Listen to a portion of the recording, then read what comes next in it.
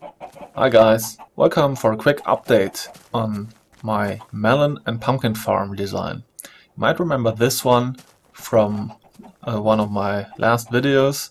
I showed how to build a working melon and pumpkin farm there and this design still works but you can build this much easier now because some things changed in Minecraft 1.1.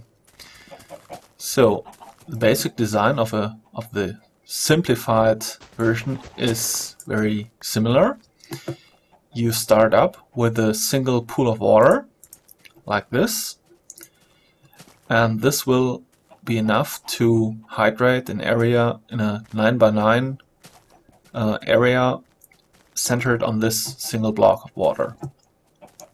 But in difference to the previous version of Melon Farm, you can now operate your block breakers by using redstone tube.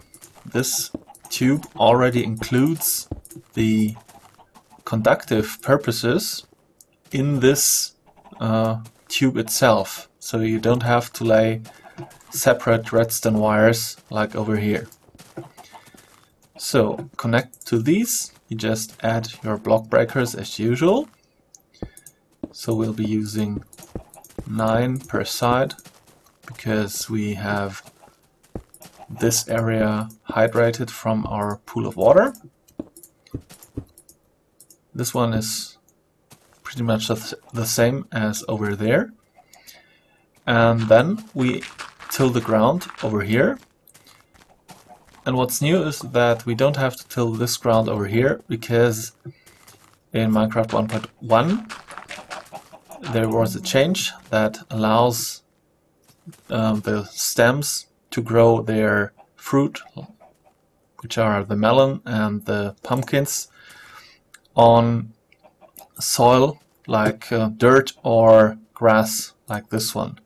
So we'll just plant our seeds like here and they will grow without any tilling so we can save ourselves those deployers over there and just let them grow naturally without any tilling. So, um, but this also means that this stem, when grown, could grow its plant to this side or over here instead of the front of the block breaker. So it will grow the fruit into a random direction and to prevent the fruit from growing in the wrong direction and be placed in front of the breaker, I'll be using some leftover cover planks, plank covers, just so the fruit can only grow into this one direction and not be, well, laying around on the wrong side. You can also, of course, use anything else or replace those blocks over here with cobblestone or anything the plants will not grow on. But I like this because it's looking nice and I had the leftovers so I don't care. So we'll add this piece of jacketed wire for um, the connection with our timer. Just stitch it to the ground with some regular red alloy wire. Lay down a timer and maybe a lever to turn off the timer, like so. And, well, maybe add a chest to the end over here. And this is the simplified version of the farm. It works well, well the same way as the other one, but the main difference is you don't need to till the ground and you don't need to supply extra redstone wire on top of the breakers because you can now control the breaker with redstone tube like here. So I'll just use bone meal to grow the stems and then I'll take a quick time lapse so you can see that the plants will grow on the grass.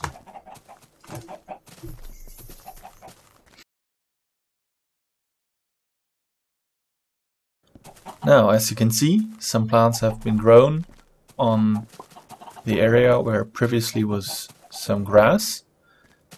So, um, well, it just works without any tilling.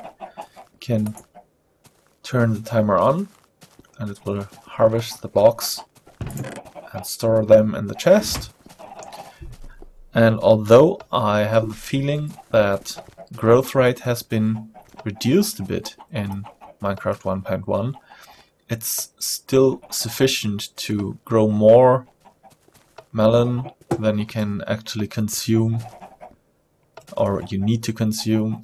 Um, so you'll still make a surplus even though I think it has been reduced in speed of growing. But anyway that's how you build it. I hope you like this much more um, compact design. And again thanks for watching and see you next time